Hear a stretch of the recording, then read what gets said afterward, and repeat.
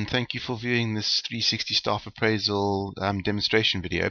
I've actually redone the video because we've changed such a lot of stuff that it's it's actually better just to redo the video again. Um, I'll show you what the changes are. Here, this is the document that you'll actually receive. Your company name will already be be uh, placed in here. You won't be able to change that. But what you will be able to change is the name of the staff member that you are um, appraising. So here we've actually I've put his name in as staff member, just so we can see obviously where that pops up. Uh, you put the department, you put financial, I put financial department, and I put a date, 1st of January 2015. That you're obviously able to to fill those in. Um, there are obviously some instructions. As we scroll down, instead of what we used to have, where we only had five categories, what I've got now is you've actually you can put in as many as eight categories, but there are actually 12 categories to choose from. So if you click on the role and you see, you see there's, there's some extra categories that you can change it to. So you've got 12 categories, but you need to pick 8, excuse me, per, uh, per appraisal. So I've already pre-selected these categories, so I've filled in the correct answer, so I don't want to change anything there. And then what's, what you do as well is there are 12 people who can appraise this person. So there are 12 tabs at the bottom there, each for each of those people, and obviously the employee themselves, the, the, their self-evaluation. So all you do is the number one relates to page number one over there. So you just select from a drop down list supervisor, subordinate, peer, or client, and obviously you do that throughout and then you can put the person's name in there I've put Mr. Supervisor Mr. Subordinate etc just so we can you know we can see who they are but you obviously just put their real name in there if you leave this blank if the person wants to remain anonymous and leave that blank then everywhere where it would say Mr. Peer on the sheet all it's going to do is it's just going to say Peer um, it'll just remain anonymous here are all of the categories. This is an administration page. Whoever's controlling this document and sending it out to everyone can, can alter them. So what you can actually do is you can come here where all these different categories are. You can change the category name and you can change the questions. So let's just say for argument's sake you wanted to keep communication but you wanted to change one of these questions, you could change the question. As long as it relates to communication, you're fine. If you change communication to a completely different category, then obviously just make sure that your questions all relate to that category. So if these 12 categories aren't the right ones for you and you don't need say adaptability, you can take that out and change something else. You can you can change all of this. Um, but obviously you want to be doing this at the beginning because um, once you've set those questions and you've selected them over there, you don't want to be changing them after that. Then the first thing for to do is if uh, the employee to do their self-evaluation. Either what you can do is you can either hide, you can hide these the rest of these tabs and just leave this one available. Send this document to the employee themselves, let them fill in the answers and let them send it back to you. Um, and then obviously unhide it. If you want to hide or unhide, you just right click on there. You can see there the hide or unhide options. Um, if you want to uh, if you want to hide everything, send that one to the person what you can do when you do hide them is if you go to review, this one's to unprotect the sheet. You can't do that, but you can protect and unprotect the workbook. So once you've hidden the tabs that you want to hide, protect the workbook, put in a password, confirm the password, don't lose the password because you can't recover it.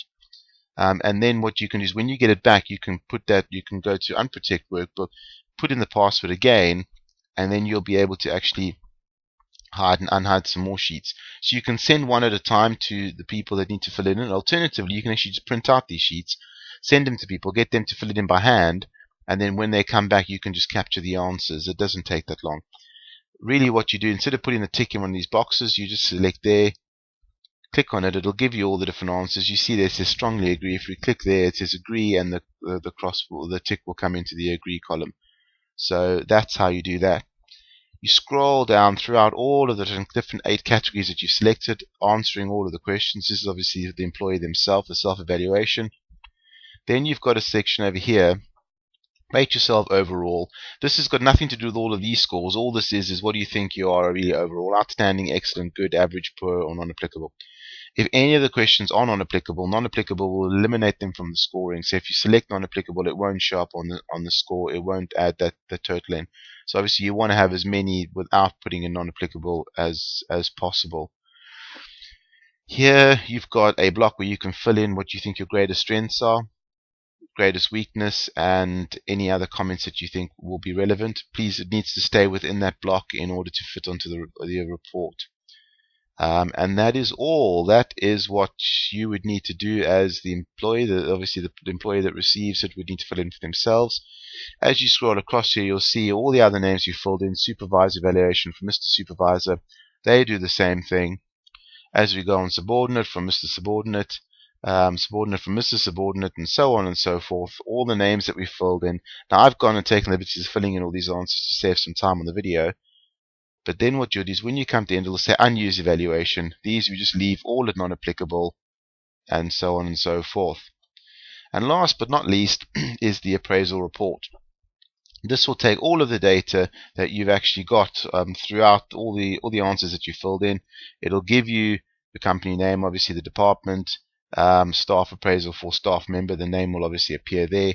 And as you scroll down, you can see you've got all the different roles the green is obviously what they've scored, the red what they still what they what they still got available to score. There are all the scores in figures for each of the different roles out of a possible 200. And as you as you go down, um, what you can actually see here, you can see the average out of five, which then gives you an average rating 3.69 is rounded up to four out of five, which is excellent. Um, uh, overall estimate was given a possible 30 out of 40. That that was the those are the overall ratings that they gave. Not it's not an addition of all the individual ratings. Here you can see we've actually put the numbers on there to show you exactly what's going on. So we can see already that the peers don't really rate this person that highly. Everyone else seems to think that they're that they're good enough, but the peers are saying that they're not quite as good as what everyone else thinks they are. Um, there we've got individual ones. So this would obviously be for the role. That's for productivity and so on and so forth. Um, you'll be able to see all of the different um, scores over there for, for each each um, uh, not each individual person, but each individual category of people. So the supervisors together, you can see there we had two subordinate peers and clients, so they're worth more points. They've got more points to get because they're actually two people in that and not just one. Um, it gives you the average rating. As you scroll down, you see the productivity ratings, same thing. Teamwork ratings, same thing again. Leadership, communication, again the peers rating them very lowly there. As we scroll down, we'll see the learning ratings, all this uh, adaptability. Here we've got the employee strengths. All the strengths are all written down one after the other, and you can see there it's Mr. Staff members, Mr. Supervisors. so you can see exactly who said what. All the strengths together, all the weaknesses together, and the general comments which may be important all together. And then lastly, here's a summary of the ratings. That's the total score given obviously each question's rated from one to five, and the, the each obviously uh, if you put in um, uh, yeah, obviously one to five would be worth one to five number of points. So this is the total number of points out of the potential 1600. That's what they actually scored, and this is the total estimated score. This is when that last question when it said what do you est uh, estimate the employee as overall. That's a total of that. So you can see that people actually see them as higher than what they're actually rating them, if that makes sense. Um, here what we've got is this obviously shows what each individual um, type of person is given.